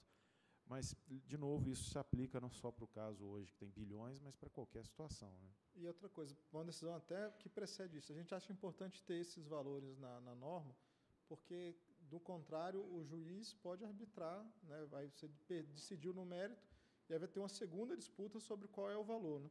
O que demora a, a execução do pagamento e que pode, é, inclusive, levar a um risco adicional para os dois lados, em relação a qual seria a correção desse valor. Então, a gente acha por bem ter e fazer referência ao, ao outro juros, que aí está definido já normalmente, que tem os limites legais. A gente quer que seja igual, tá? Mas é para não é, sim sendo igual, nós entendemos que é neutro, que nem atrapalha nem, nem incentiva. É, faz todo sentido constar na, na, na, na resolução, eu, eu, entendo perfeitamente, mas eu peço que vocês reflitam um pouco sobre o sentido de ser tratado da mesma forma, tá? porque tem uma, tem, tem uma questão importante aí que é, é claro, não queremos que, tem, que se tenha judicializações no futuro, é, faz sentido, ninguém quer, ninguém quer, absolutamente ninguém. Mas a gente também não quer que haja um desestímulo a você buscar uma solução judicial via penalização regulatória. É, não pode ser observado dessa forma. E, e pela uma continha simples, em um ano dá 20%. 20% é maior do que TIR de qualquer projeto. É, é, pode ser perigoso, pode ser até mal visto, para falar a verdade. Marcelo, é, só esclarecendo, o, não existe um desestímulo à judicialização, porque, na verdade, se ele tem, obtém uma liminar e a sentença de mérito diz que ele não tinha o direito, o valor é devido. Valor tornou-se devido aquele tempo todo. Então, ele simplesmente está tendo condições de igualdade com qualquer outro que deixou ele pagar. Não haveria diferença. Eu não estou favorecendo nem prejudicando ninguém nessa medida. E a liberdade lá de ir a 2 até 5% por decisão da Assembleia é uma decisão dos credores que afeta todo mundo também, não há uma discriminação entre eles. Então, essa discriminação parece que não existe. E lembra também, de novo, olhando o lado do credor, esse credor também tem uma TIR lá, ele não está recebendo aquele dinheiro e em um ano não receberia nada. Ele teria que buscar algum financiamento e teria dificuldade no financiamento que ele tem, se for o caso lá de, de ainda em fase de financiamento. Né? Só, só para responder a, a, pergunta da a dúvida da eletronuclear, aqui pela resolução 530 já tem o tratamento da, da cota da, da eletronuclear. Então ela transfere todo o efeito do mercado de curto prazo para a distribuidora.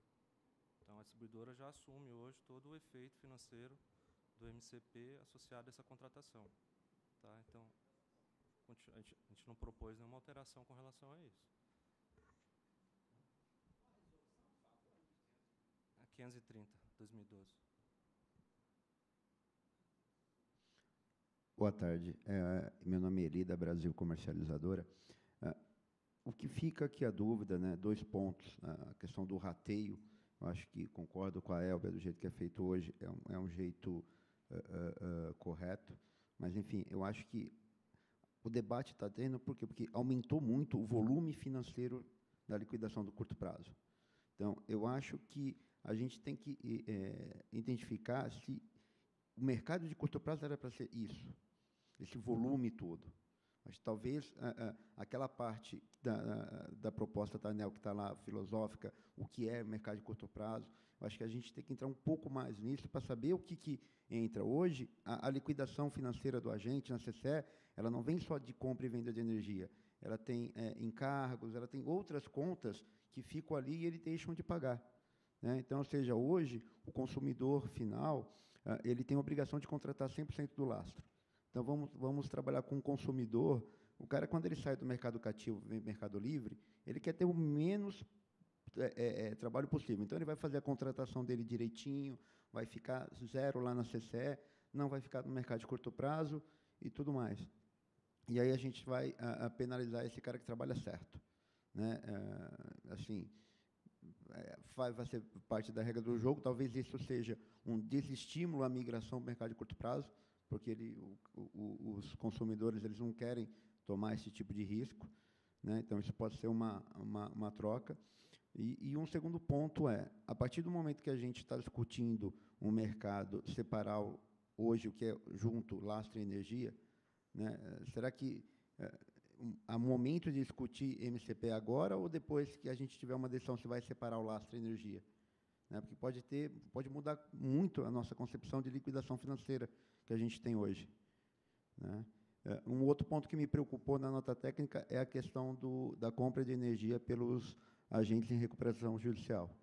É, ali não ficou muito claro o que a ANEL está pensando, como fazer isso, porque isso também é um grande problema. Né?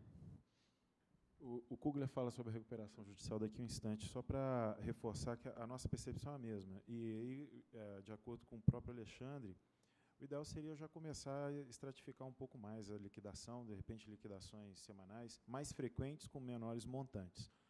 É, tem lá, existem lá algumas dificuldades, a própria CCE teria que ter lá uma, uma alteração dos seus sistemas e tal, mas nós não temos nada de, de contra uma, uma proposição desse tipo. Pelo contrário, a gente acha que o natural é caminhar para esse caminho, é, por esse caminho mesmo.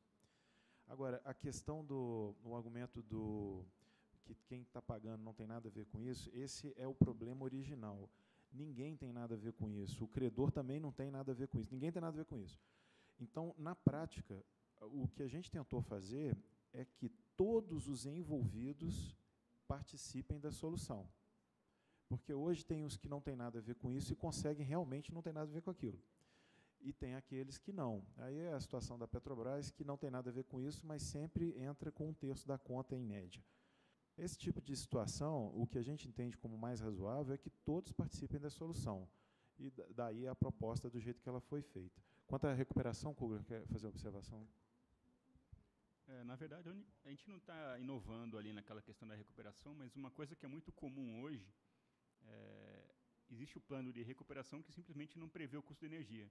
Então, na verdade, existe um plano de recuperação que não se avalia o custo. Não dá para se afirmar se há ou não é, é, condições de recuperação. O que a gente está tentando ali é esclarecer que, nesse plano de recuperação que venha a ser aprovado, tem que ter a previsão. Então, a gente está querendo dar meios para que os associados do CCE cobrem isso. É, é um custo relevante da, da, da, atividade e deveria estar previsto e, na maioria das vezes, não está.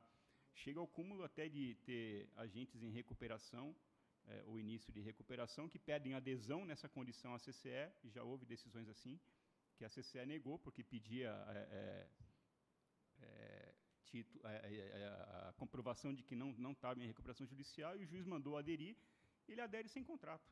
Na verdade, ele adere já entrando com débito, porque quem vai vender? Então, é, o custo de energia dele já deveria estar previsto, o contrato já deveria estar, no mínimo, alinhavado. Esses casos que o Kugler mencionou rapidamente de adesão partir de decisões judiciais está associado à razoabilidade que o cara apresenta para o juiz de dizer, olha, eu consigo diminuir o meu custo se eu ficar no mercado livre. Agora, eles não estão me deixando ir para o mercado livre. Aí o juiz normalmente aprova isso, dá uma liminar lá ou decide, mesmo em mérito de que, que isso pode ser feito, mas esse próprio juiz não avalia se o plano de recuperação judicial inclui aquele custo da energia. Então, ok, ele é menor do que seria como cativo, mas tem que estar incluído no plano de recuperação judicial. Então, a intenção é de melhorar esse tipo de situação que temos hoje. Fato, hoje a gente já tem isso. Oi, é Carolina da CPFL. É, também gostaria de parabenizar a ANEL pelo espaço. Acho muito rico a gente poder a gente ter essa oportunidade de discutir. É, só para reforçar, a CPFL também é, compactua com, a, com a, o momento da discussão. A gente também acha que talvez não, não seja o momento ideal, mas é, avaliando mais profundamente a nota técnica, a gente ficou com uma dúvida na metodologia de conta mesmo da, da, da do, do, do, rateio, né? porque o, devedor ele não participa no primeiro momento aqui do rateio. Então, a gente tentou até refazer as contas, a gente não conseguiu chegar é, na tabela 3 e na tabela 4 aqui da nota técnica. Então, eu queria saber se a gente pode ter acesso à formulação algébrica mesmo dessa, dessa metodologia. E, aparentemente, parece um pouco injusto quando a gente analisa, por exemplo... A gente, a gente chegou a identificar que é. essa, essa fórmula aqui... Isso. Ó, é Esse é, passo, exatamente. Ela é válida para quem era credor no início. Mas para quem já era devedor, o valor é o mesmo. Ele já, ele já era devedor. E aí você repete o valor mesmo. Daí depois, como proporcionaliza? Isso aqui, isso aqui é o, isso aqui é o rateio por voto. Uhum. É proporcional ao número de votos. Ao número de votos, isso. É, é a, é a de 50 mil rateado pelos votos Aí lembrando que esse devedor aqui, ó, ele não pagou uma parte. Ele, deve, ele devia 20, pagou só 10. Ele não participa do rateio da dívida dele, ele participa dos outros. Uhum. Esse daqui é a mesma coisa. Ele não participa do rateio dos 40 mil. Ele participa do rateio de 10 mil com o voto dele. Então é 10 mil dividido por 50. Onde? Esse devedor, o agente 10, ah. é 10 50 o número de votos dele, certo? Não, não. É, é, vai ser o 10 mil dividido pela proporção do voto dele, mas em relação a todos os outros. Menos o do devedor dos 10 mil aqui, que é, o, que é 30. Né? É a propor, essa, o, soma de votos aqui, que está 300, ela varia, dependendo do devedor. Ela varia, porque Não quando eu for... Te... fixos.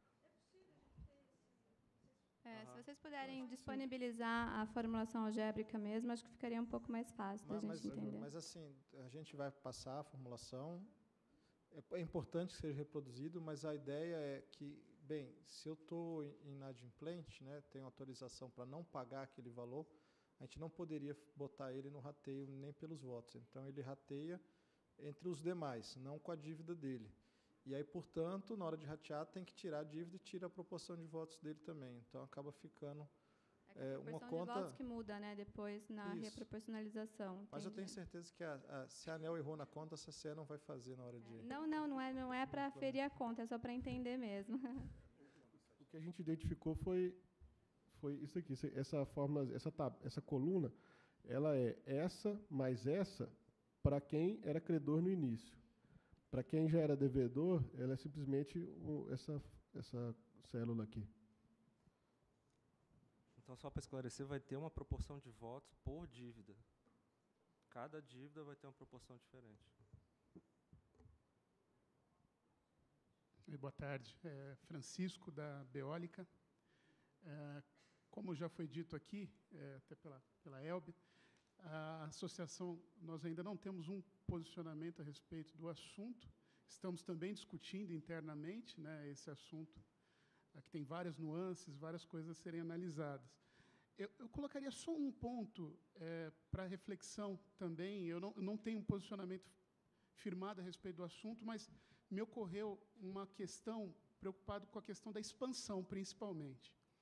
Então, focando nos projetos que ainda estão por vir, né, e na sinalização que é dada por meio dessa alteração. É, o pensamento seria o seguinte: os projetos ainda estão por vir, vão ter que, obviamente, se pagar. Ah, atualmente, nós temos um sistema que preconiza, né, até por conta da, da lei 10848, a questão da contratação. Então, você tem todos os agentes é, de consumo né, e também as distribuidoras tendo que gerir os seus portfólios e essa gestão é feita por meio de uma contratação de 100%. Né? Elas têm, eles têm que estar 100% contratados. Obviamente, os consumidores têm mais espaço para fazer a gestão desse portfólio, mas, basicamente, o, contra, o, o mercado ele é um mercado de contratação. Então, espera-se da parte dos ofertantes nesse mercado, no caso geradores, por exemplo, que eles também estejam contratados, até para que, no final, a gente tenha a questão da soma zero. E aí a, a, minha preocupação é com relação ao risco que pode estar sendo adicionado com essa medida de rateio por todos os agentes, que é um risco, de certa forma, difícil de ser capturado pelo gerador uh, no momento que ele vai dar o bid no, no leilão, ou, ou, mesmo no dia a dia dele. É difícil ele capturar o risco que ele vai ter nesse sentido nos próximos meses. Dessa forma, é, é, eu coloco isso para reflexão mesmo, né? estaria mudando um pouquinho, é, talvez até brutalmente, dependendo do tamanho dessa inadimplência, a gestão do risco dos agentes, né? eles tendo que agregar essa porção, porque hoje, hoje eu tenho uma certeza, como o mercado é de contratação, eu sei que a minha sobra ou o meu excedente, ele é precificado no mercado de curto prazo, no entanto, ele não faz parte ou pelo menos ele não vai ser fator preponderante na hora de eu obter meu financiamento para a construção do meu empreendimento. A partir do momento em que eu aplico isso, eu tenho que agregar uma variável de risco, né, porque vai fazer parte, pode ser que eu seja impactado independente da minha posição. Então, é só colocar essa Francisco, reflexão. Eu acho assim, é uma reflexão importante e ela, ela, a audiência se volta, se presta a resolver essa, essa pergunta. Agora, nossa posição preliminar é que é, hoje seria um risco menor. A gente percebe que não existe uma correlação muito grande, por exemplo, entre PLD e, e, e a, a, a, geração hidráulica. Deveria ter uma correlação muito mais forte do que tem. É, a gente percebe que vários agentes nossos, e no futuro vai ficar muito mais, mais presente isso, vão ter gerações sazonais.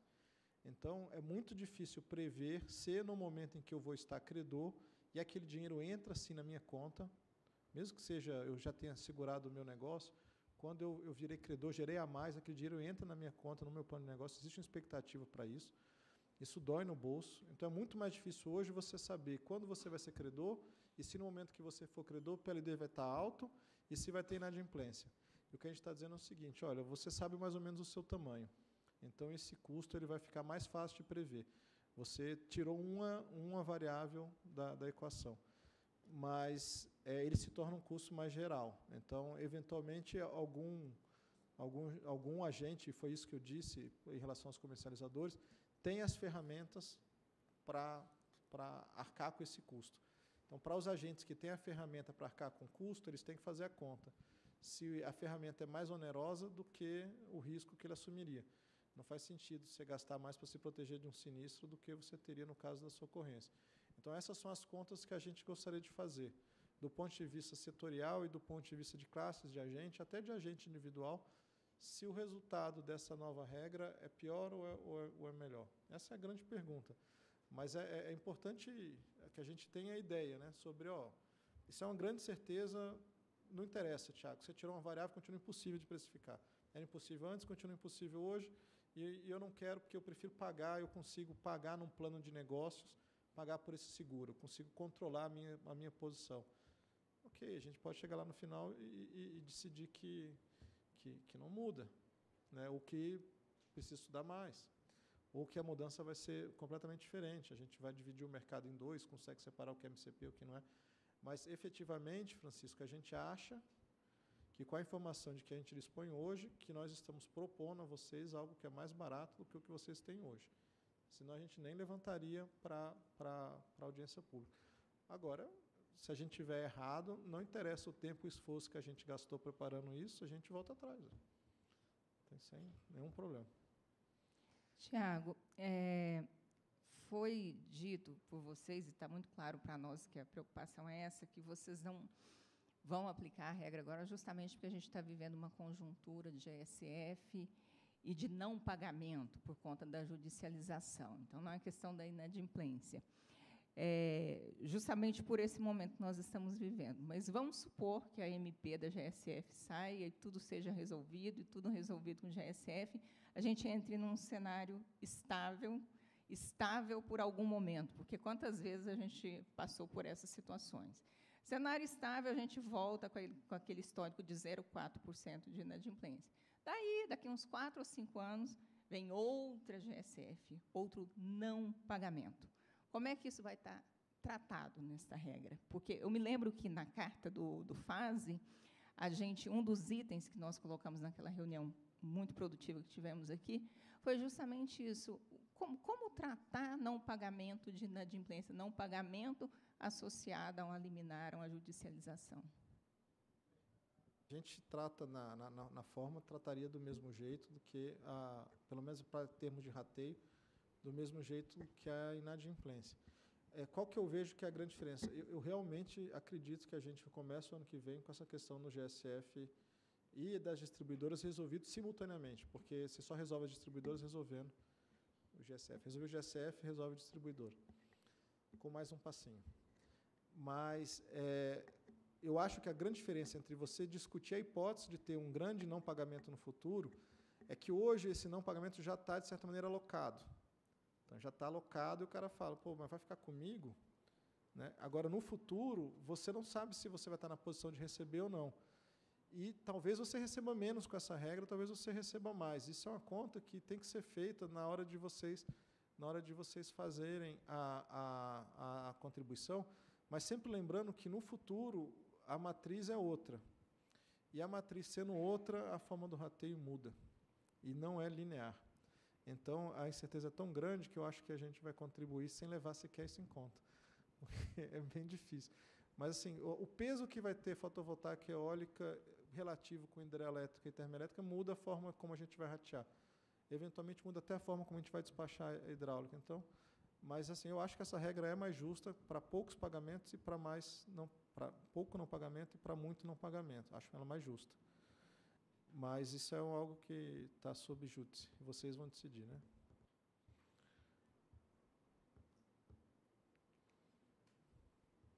Dole 1, dole 2, dole 3. Ah, deu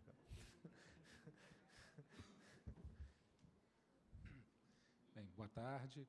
É, Para não ser muito repetitivo na, valoriza, na valoração dessa, desse evento, eu vou trazer uma reflexão é, do quão produtivo que ele está sendo. As perguntas colocadas, o esclarecimento conjunto, né? e talvez deixar essa reflexão para a proposta da segunda fase.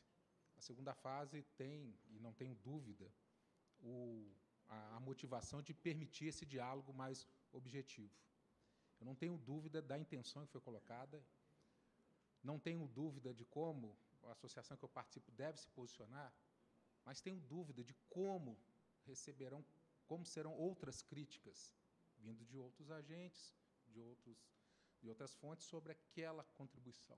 Eu não sei se ela será de bom tom, eu não sei se depois teremos uma tréplica, eu não sei se a boa ideia pode se constituir, talvez, não num campo de diálogo, mas talvez num ringue. Então, essa reunião que vocês estão constituindo aqui, essa reunião técnica, está me permitindo um diálogo coletivo, abrangente. Então, deixo só um ponto de reflexão. A ideia, a motivação boa, mas a pergunta é quais são as consequências depois da vivência e relato alguma dessas nossas preocupações. Segundo ponto, aí de trás para frente, né, é a, quanto à questão da propositura. A gente está na BRAD discutindo com os nossos associados a, a reflexão e para a contribuição, mas um, um, ponto que eu já adianto, assim, também, de novo, uma reflexão quanto profissional, é discernir um pouco do, do conceito, talvez, de condomínio, né? e talvez do que se constitui parte de uma posição. Quando tem-se muito a questão de um condomínio, existe muito uma decisão coletiva que está em função de despesas associadas a decisões de cunho coletivos definidas, se não por uma maioria, ou de todos uma maioria. Existe, nesse momento, uma etapa que faz parte do mercado, onde os resultados não têm a ver com uma decisão coletiva só de rateio de despesas, e sim de opções, de oportunidades e perspectivas de negócio. E alguns terão mais ou menos. Então, isso distingue um pouco as duas concepções. E se ela se distingue, talvez é, discernir na forma de penalização. Se eu tenho uma situação extrema, aonde eu tenho um pênalti, uma expulsão, ela não necessariamente ela pode se trazer na prática cotidiana daqueles movimentos que faz parte de um mercado. Então, se há uma diferença, se há diferença de reconhecimento disso, deve-se talvez fazer um discernimento. Mas é só um ponto de reflexão nesse momento, ainda não é uma contribuição mas de novo valorizando aqui essa etapa e talvez isso aqui seja um bom uma boa experiência para essa busca de maior diálogo efetivo nos agentes. Bem, Delgado, obrigado. É, a, meu mestrado, a minha especialização é em teoria dos jogos. E o que a gente está fazendo aqui é uma teoria dos jogos. E o, o equilíbrio de Nash vai ser contribuições mais arrazoadas desde a primeira etapa né? porque antes você podia pedir um pouco mais do que você achava justo num processo de barganha. Você fala, eu peço isso, todo mundo pede mais, a não arbitra. Então, agora você já pensa sabendo que alguém vai escrever sobre o que você escreveu, então já vai vir mais arrazoado desde a primeira etapa, de modo que eu não vejo a segunda etapa com muito mais afinetado que a gente já viu hoje. Aqui. Vai ter uma outra, uma outra é, levantamento, mas, é, na verdade, vocês estão contribuindo num processo público. Né?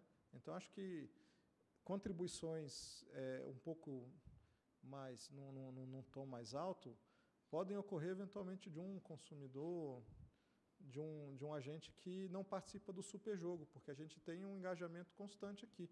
Esses stakeholders aqui presentes, eles estão em todas as audiências públicas que envolvem é, a ANEL. Né? É, uma hora com menos interesse, outra hora com mais, mas a gente está junto né, nessa jornada não exatamente no, no, no, no, com os mesmos objetivos, mas dentro do, do mesmo barco.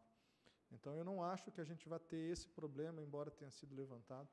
Ele é possível, faz parte da esfera da, dos eventos possíveis, mas acho que ele não vai ocorrer. Pode ter uma ou outra contribuição mais, mais acalorada em relação a consumidores, talvez, que não participem do superjogo, né, não interajam. Mas a gente tem que lidar com a maturidade também de entender o que ele diz, né, com a angústia dele. Né. Quando a gente resolveu a questão das bandeiras, o site da ANEL foi invadido. Né? E, e o pessoal mandou alguns e-mails para os diretores que são impublicáveis. A gente entende, faz parte. Né? Não vai colocar o coitado lá como a desacato à autoridade. Até entende, uma vez é isso, né? você está nervoso, mas não vai ocorrer, eu tenho certeza que não vai ocorrer, porque o equilíbrio de Nash é não ocorrer. Aí, se ocorrer, eu devolvo meu diploma de mestrado.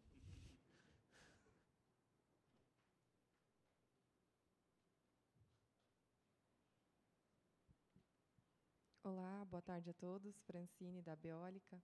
Ainda sobre a questão da segunda fase, é, a, apesar do que você já colocou, sobre conhecermos os posicionamentos e aí podermos falar também sobre as contribuições dos outros, é, das outras instituições, é, haverá alguma análise preliminar da ANEL sobre aquilo que foi posto e contribuído para que a gente possa também identificar qual que tem sido o entendimento da ANEL? Não, as fases, na verdade, a única diferença de tempo entre o término da primeira e o início da segunda é o necessário para que todas as primeiras contribuições, as contribuições da primeira parte sejam colocadas no site. Então é uma encaixada na outra. Vocês não têm ideia de como isso vai facilitar o nosso trabalho. Boa parte do trabalho da audiência pública é catalogar as contribuições e mapear os pontos de, de fato interesse. E a gente fazendo aqui, a gente perde muita informação. Vocês vão fazer um trabalho de catalogamento para a gente, de identificação de pontos críticos, que, que nem que a gente pagasse o melhor consultor do mundo, ele teria o interesse de vocês em fazer isso. Então, a gente, de graça, vai receber uma primeira filtragem do que é que, de fato, tem que ser o foco da atenção do, do, do, do, do relator. Obrigada.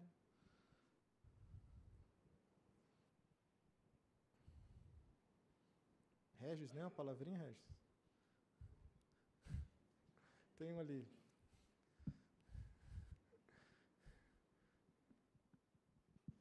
Oi, boa tarde. É Camila da Brookfield.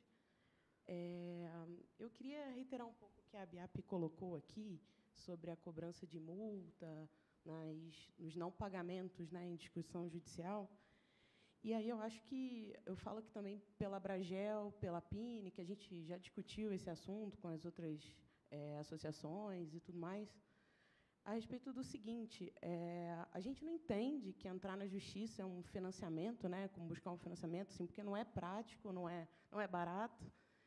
E o outro ponto é que, assim, juridicamente falando, quando você tem uma decisão judicial, uma liminar, né, a gente foi na justiça, conseguiu uma liminar para não pagar determinados montantes, a gente está cumprindo uma decisão judicial. Então, a partir daí, a gente não está deixando de pagar porque a gente não quer, enfim. Tem uma decisão ali. E se lá na frente a decisão de mérito é, é negativa, né, assim, a gente não, não teve a decisão satisfatória, o próprio judiciário tem instrumentos né, para banir, então, para punir. Então, os ônus de sucumbência, tudo mais, tem que ser pagos. E outra, lá no, na origem, ao deferir a liminar, se o juiz entende que há uma litigância de má-fé, também há previsão de punição prevista. Então, assim, o que, a gente mais discutiu é que né, seria uma punição a mais para o gerador, é, para quem foi buscar essa, essa decisão. E aí vocês não entendem que, assim, a minha dúvida mesmo, levantando a hipótese, vocês não entendem que isso pode acarretar mais discussão judicial, mais tendo em vista assim que é, acho que bom do que a gente conhece aqui, do que a gente conversa, ninguém busca, né, o judiciário para protelar, não sei. Essa era a minha colocação. A gente concorda com tudo que você disse, é por isso que é igual, é igual para ser neutro. Qualquer lado que a gente colocar seria ou um incentivo ou uma barreira. Então, eu não estou nem impedindo que você, a proposta não impede, nem desincentiva ir ao judiciário e também não incentiva. Simples assim. Se você não tem direito e não pagou, a gente, a gente tirou a ótica do, de quem foi na disputa, tirou a ótica de lá, falou, para ele tem que ser neutro. E trouxe a ótica de quem tinha que receber. Quem tem que receber vai receber o mesmo dinheiro, independente se, se, se o processo passou ou não por um litígio judicial, porque ele tinha o direito de receber desde sempre. Eu, eh, sinceramente, a gente pode aprofundar isso, é para isso que serve. Mas eu, eu disse lá para o Marcelo, e eu repito, eu repito para você, é mais ou menos isso. A gente não está querendo criar uma barreira, a gente está tirando um incentivo. A gente, existe um incentivo a, a, a judicializar. Judicializar pode ser mais barato do que, do que é, é, reconhecer que tem que pagar. Porque a gente está falando de juros que se incidem sobre valores muito grandes. Né? Então, você não pagar aqueles juros, isso gera um valor que pode ser muito grande. E no Brasil, a gente não tem um hábito de fixar valores de causa muito bem. Então, esse, esses incentivos de judicialização, isso é uma, uma, questão que é levantada em todo o processo, inclusive na discussão da reforma trabalhista. Né? É, de certa maneira, barato judicializar. Né? E algumas judicializações que a gente enfrenta, nem isso tem que pagar. Né? Tem ação popular, tem que negócio. Então, a gente está dizendo assim, ó, é o mesmo custo, nem quero incentivar, nem quero desincentivar o ponto de neutralidade. E qual é o ponto? Vocês decidem dentro do que pode a lei, a lei permite. Agora tem que ser igual para um e para o outro. Só complementando, a, cassação da liminar, ela, em regra, teria efeito ex tunc. Né? Então, seria devido desde a origem. Então, não vejo razão para distingui-lo dos demais. Aí sim seria uma distinção, me parece. Que é o que a gente faz hoje, inclusive.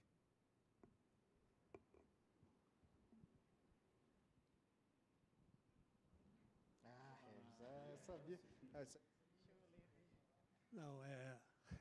Eu não vou falar aqui porque a PIN ainda está preparando suas contribuições, certo? É, mas eu, particularmente, tenho uma dúvida, que eu até já tinha falado isso naquela reunião do FASE com vocês. É a questão de, de você estar com uma liminar, certo? E, e ser os juros, certo? Né? Nessa, nesse montante, certo? É, eu, eu concordo com a tua tese, certo? Que não é que seria um incentivo ah, se não tivesse os juros, certo? Mas eu, eu tenho uma dúvida do ponto de vista legal, certo? Porque tudo que é ação judicial, certo? Ao quando você entra na justiça, certo? Imediatamente é suspendido qualquer cobrança de juros e multa, certo? Ao final da ação, realmente ele vai ter que pagar. Eu não sou advogado, mas não, mas acho- está suspenso. Está suspenso. Você só paga se chegar na decisão de mérito e perder. Porque se ganhar, ganhou, ué. Né? Então, para esclarecer, não, tudo suspenso. Terminou, ex nunc, tunc, sempre retroage, nunca retroage. Ex tunc, retroage e paga tudo que era devido, mas só se perder e ao término da decisão de mérito. Ou se a gente derrubar a. Né?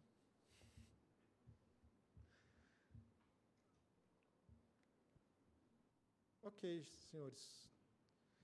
Bem, muito obrigado a todos. Espero que a gente tenha conseguido esclarecer essas dúvidas e espero agora as contribuições durante o processo de intercâmbio documental e depois a última rodada na nossa sessão presencial.